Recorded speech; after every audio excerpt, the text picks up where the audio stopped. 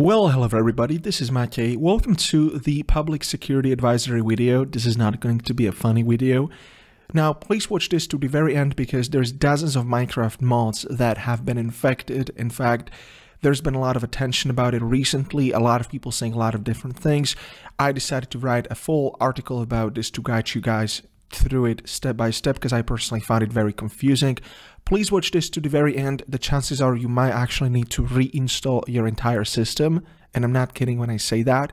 So basically what happened is uh, on CurseForge and also on Bukkit, um, there's been a breach. Someone logged in into a bunch of popular, you know, authors accounts and they replaced legitimate mods which i'm going to show you later which which these are with hacked versions of them and they've also created a lot of uh, malicious uh, mods specifically designed to get downloads so that you can infect yourself Here's a list. If you go down and you click the link below this article, you're going to see my website, mineacademy.org, where this article is, has been published. Uh, first of all, I have to give credits. Let me just do this right now so people don't comment on this. Let me just give credits. The sources are at the bottom of the articles uh, that were the very first covering this. So first of all, there is a full list of plugins and mods that are being infected. Sorry guys, not Minecraft plugins for um, specifically for Spigot Bukkit, although there's been some already. So you need to be up, up to date with this. This list will be um, continuously updated. Here's a list. These files have already been cleaned. That means that these hacked accounts have been restored and they've patched, they removed the malware. Here's a bigger list. Uh, again, I'm not going to read this line by line. You need to visit the link below to see uh, the most up-to-date list of mods. These mods have been deleted, right? And we also have a couple of Bukkit plugins actually. The list is down below. I have sorted the list from A to Z. I'm going to keep track on and post more mods as they will come. Currently, investigation shows that there's been only close to 2000 downloads of these mods if i'm not mistaken maybe i'm wrong maybe there's been more so it's not that bad but the problem is when it comes to the malware itself it can actually copy itself to all of your files not only probably all jar files but the investigation is pretty early right now so we don't really know all the information but the problem is it can infect their entire operating system okay? It can also steal cookies, login information from your websites on your browsers. It can also replace cryptocurrency address with not my address, I wished, but with the attacker's own address. Uh, it can also steal Discord credentials and steal Microsoft Minecraft uh, credentials as well. So it's pretty bad, especially given the fact that it can actually copy itself over to different files, right? Now, who was not infected at all? So right now, if you are a lucky uh, lucky dude who own a Mac like this, and there's a specific reason why I brought this computer right here, you're not infected. It's been only reported to be on Windows, and it's been only reported to be on Linux. Now, the thing with macOS, they can obviously update it, and there can be more breaches. As of right now, with the information that I found, macOS is safe. Does not mean that it's 100% bulletproof. It just means that this particular uh, malware, as of right now, is not spread on macOS. Okay, so what you should do, uh, you should check the list of infected mods. If you don't use any mods whatsoever and you only play vanilla through the official launcher, if you've never touched any mods ever, um, you you are 100% safe. Not 100% really, never. I'm probably going to delete this number, but you should be safe, okay? You should be safe, but if you did mod your Minecraft, please check the list just to see if you've been infected 100%. If you're not sure if you're infected, uh, there's actually a bunch, a bunch of great tools which you can download. Again, the article provides everything that you need. There is a first tool called Jar Infection Scanner, which is going to scan a different folders, different folders such as the test server that you have or Minecraft directory. You do have to browse and select it manually and it's going to de de describe the infections on the other side of the screen. You can just download it from this link right here.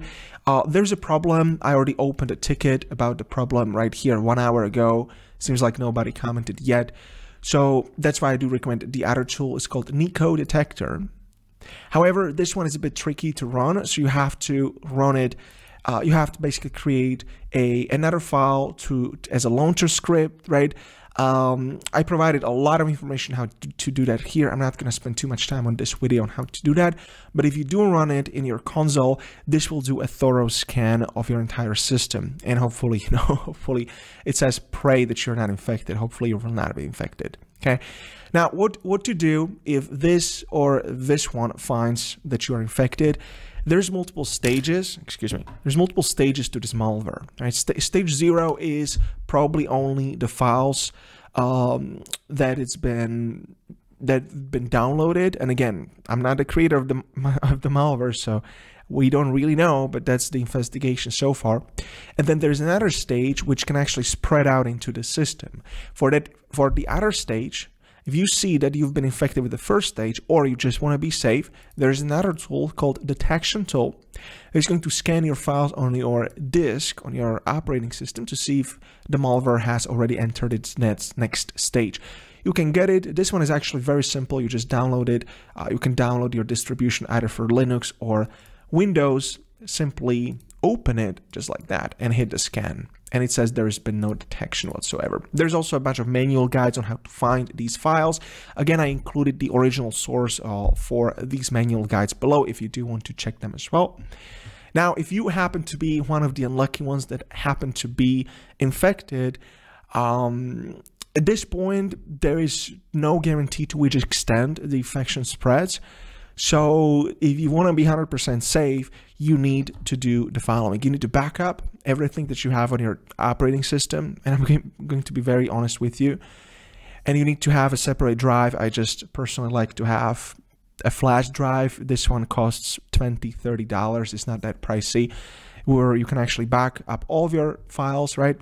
And then maybe get another one of these drives where you're going to paste your new copy of your operating system as a bootable um, ISO format. You can basically Google this if you need help with this. If you're not proficient on how to reinstall your operating system, you have to unfortunately consult with a professional or just visit a repair shop and you know mention what happened um, but just make sure to use a separate drive for backing up your files and then use the other drive for backing up, uh, for creating a copy. Now, for downloading the operating system, make sure to also use a different computer. That's why I brought this macOS here.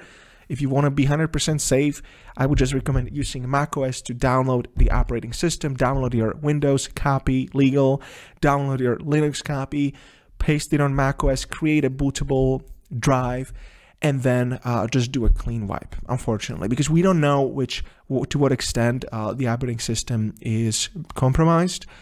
And in that case, you just have to go with the full and clean wipe, right? Also,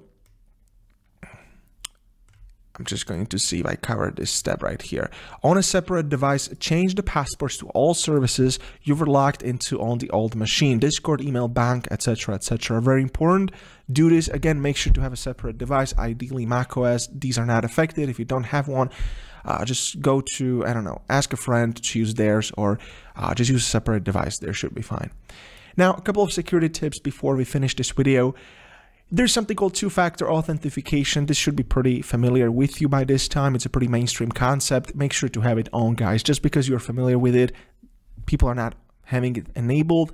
My Spigot account actually got hacked because I did not have two-factor authentication on. That was about seven, six years ago. So make sure to do have it, do have it, and then use, you can use an app such as Authy on your mobile phone if you want to um, easily, you know, just use your phone to authenticate when you're logging in. So you you have to first enter the passport and then confirm on your phone. It's very safe.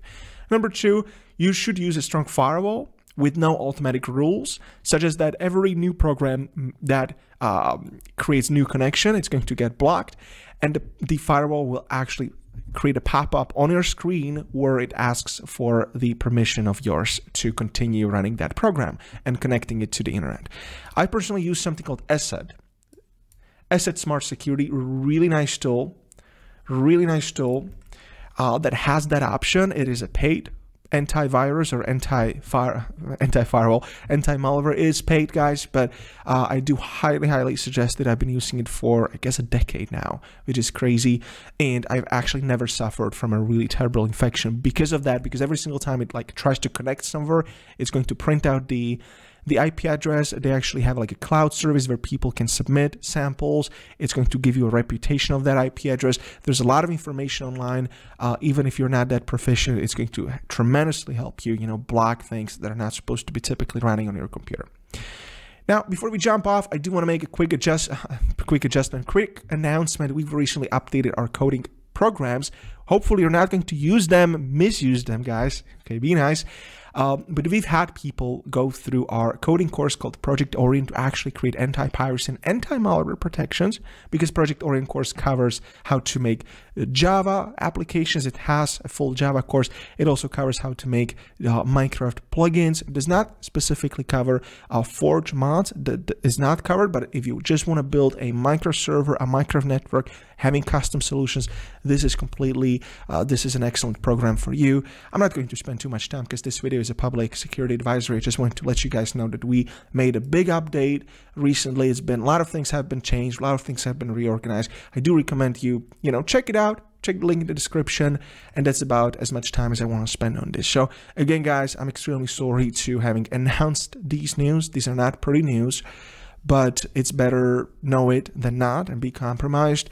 Uh, make sure to do the steps if you're using any mods. And yeah, and then comment below this video if you have any new information. I'm also going to be leaving the windows, uh, not the windows, the comment section on this blog open where people can comment on this and hopefully hopefully we will come up stronger from this. Thank you so much. This has been Matej and I will see you in the next video.